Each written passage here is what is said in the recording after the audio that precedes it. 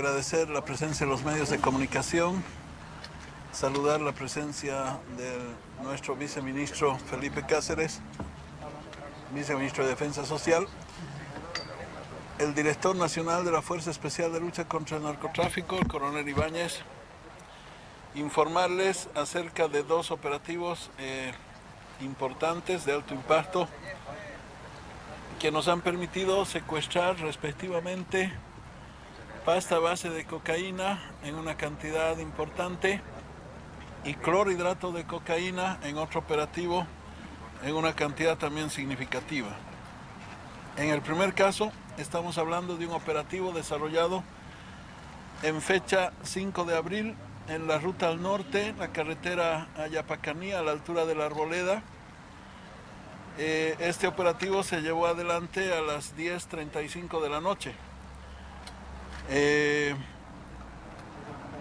cuando nuestras patrullas se encontraban realizando sus eh, operativos de vigilancia, de patrullaje, eh, un vehículo de tipo trasto camión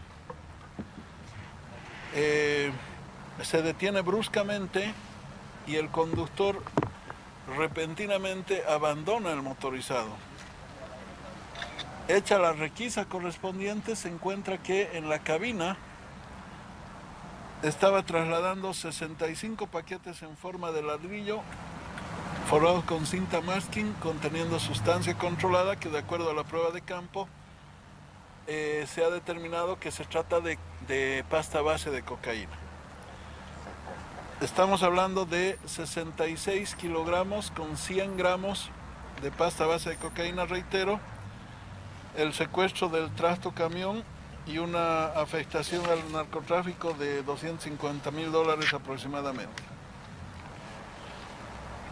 En fecha 6 de abril, luego, eh, en horas de la madrugada, a las 3.35 de la madrugada aproximadamente, eh, se ha procedido a interceptar y requisar un vehículo, una cisterna, trasto camión, que eh, había adaptado un dispositivo para el traslado de droga, en lo que comúnmente conocemos como macaco, donde se eh, pudo verificar la existencia de 100 paquetes conteniendo sustancia controlada, los mismos eh, en forma de ladrillo forrados con cinta masking también.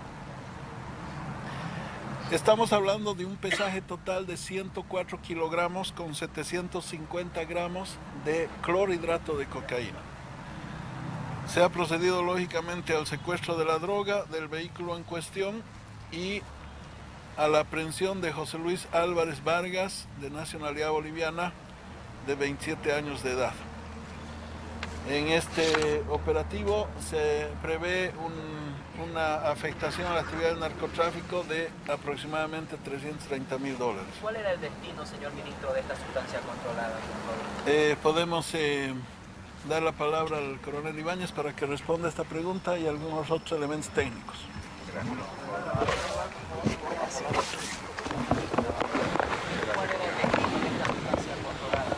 Bueno, tenemos en cuenta que nuestro país es un país tránsito. Estos eh, camiones eh, pasaron por la frontera de Perú hacia Bolivia entonces, teniendo en cuenta que esa cantidad iba a ser eh, pasada hacia el Brasil, iba a ser pasada o, tal vez acumulada acá para luego pasarla al Brasil. Entonces, eh, generalmente cuando este tipo de, organizaciones, este tipo de, camuflaje, se puede decir en este tipo de camiones, generalmente es para traspasar hacia el Brasil. Son un sistema muy, muy especial en este, en este camión, donde solamente con el sistema de aire se, desbloquea y se puede abrir. Entonces eh, era, es muy interesante, en unos minutos vamos, vamos a mostrarles. Tenemos que también hablar que en total mm, de, cocaína eh, secuestrada son 165 paquetes entre clorhidrato y pasta en estos dos operativos eh, con un peso total de 170.850, haciendo un total de, de afectación en estos dos casos aproximadamente de 580 mil dólares americanos. eh, una vez más reitero, fue un trabajo especialmente en el, en el tractocamión, donde tiene todo el sistema de, manipular la apertura de la- de las cesaduras específicamente, es una especie de, de cesadura en base a aire. Se conecta el aire y recién salta la, la cesadura.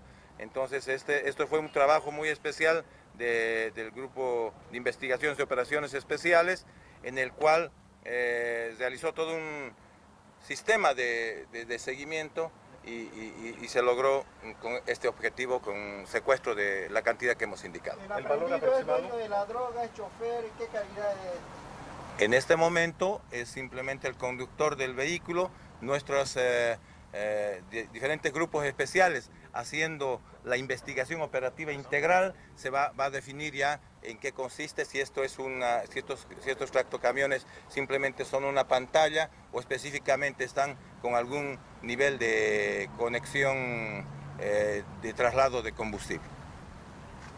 ¿El valor de la carga? En total tenemos el valor aproximadamente de 580 mil dólares americanos entre los dos casos.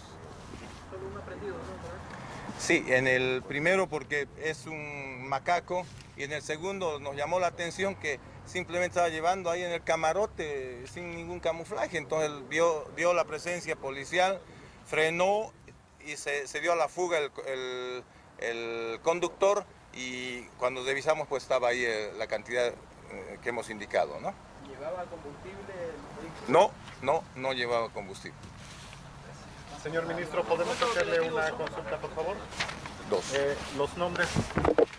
Señor ministro, eh, por favor, el día lunes, pasando a otro tema, ustedes tienen actividades con la reunión internacional de seguridad. Sí, evidentemente eh, es una iniciativa del, del Viceministerio de Seguridad Ciudadana que está organizando un eh, evento de carácter internacional de gran valía eh, para la proyección normativa estratégica en el ámbito de la seguridad ciudadana, donde vamos a tener la presencia de muchas personalidades, pero destaco fundamentalmente dos. Una de ellas es Santanas Mocus, que fue el, alcalde un poco abanderado de, la seguridad ciudadana en, Medellín. Y eh, eh, Paco Montoya de Quito, que también eh, espero que ya haya confirmado, que fue un, alcalde emblemático de Quito que eh, logró reducir casi en 300% el nivel de criminalidad en Ecuador. Entonces, eh, estas dos personalidades, entre otros, van a ser expositores y sobre todo vamos a tener el privilegio acá en Santa Cruz, en Bolivia, de contar con las corrientes doctrinales más actualizadas en materia de seguridad ciudadana.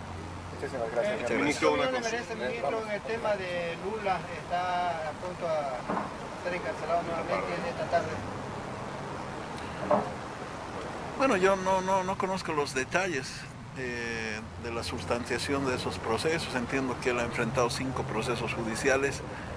Eh, Lula es un valor emblemático de, del- de la izquierda en Latinoamérica, sobre todo del movimiento obrero. Eh, eh, ha sido un referente significativo y entiendo que, que también en, en términos de encuestas de opinión es, eh, es el, líder más popular de Brasil en este momento. Eh, obviamente que en este último tiempo ha habido golpes institucionales. Eh, al gobierno de Dilma Rousseff no le demostraron nada, no existía nada objetivo para interrumpir su mandato. Luego fueron por Lula.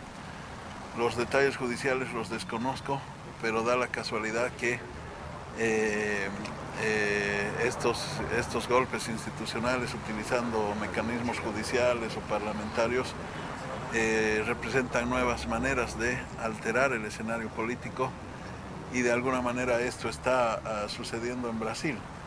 Ahora, si, si hay eh, pruebas, eh, elementos objetivos, eso realmente yo lo desconozco. En el caso particular de Bolivia, los parlamentarios de oposición piden que no solamente se investigue Odebrecht, sino también otras empresas que eh, han agarrado obras aquí en Y, y nosotros estamos absolutamente de acuerdo, porque cuando se, se investiga las empresas que han suscrito contratos con el Estado boliviano en la gestión del proceso de cambio. Más bien vamos a demostrar que hemos ganado porque les hemos ejecutado boletos de garantía. Pero eh, lo que pasa es que el Parlamento, por razones operativas y metodológicas, ha dividido en dos etapas. Primero Odebrecht, porque Odebrecht estuvo presente eh, muchos años en Bolivia, por lo menos desde el gobierno de Jorge Quiroga, ¿no es cierto? Y por toda la connotación que tiene Odebrecht en la región y todos los eh, actuados que ha podido tener en Bolivia, muy bien que sea parte de una investigación de la Comisión Mixta Parlamentaria y luego que terminen esta investigación, eh, eh, es lo que he entendido de parte de, los, eh, de la Presidenta de la Cámara de Diputados, harán un trabajo sobre los demás contratos. O sea, eh, nadie está eh, dirigiendo solamente unos tipos de contratos para determinados gobiernos, no. Al contrario, la investigación la planteó el presidente Evo Morales, sin restricciones. Muchas gracias. Una última consulta, por favor. Eh, anoche se dio un acto de inseguridad donde un padre, por defender a su hija, le dispararon y lo mataron. Quisieron robarle solamente el celular y 10 bolivianos. Eh, no tengo todavía un avance investigativo de este caso. Eh, tengo dos, dos casos en Santa Cruz de homicidios que se han registrado eh, en horas de la madrugada.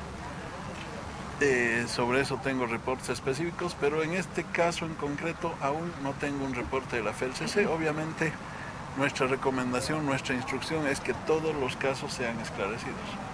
Muchas gracias. De la reunión ahora de la, delegación paraguaya, dentro de- del acta de entendimiento, usted decía que hay un proyecto, un centro regional eh, de inteligencia.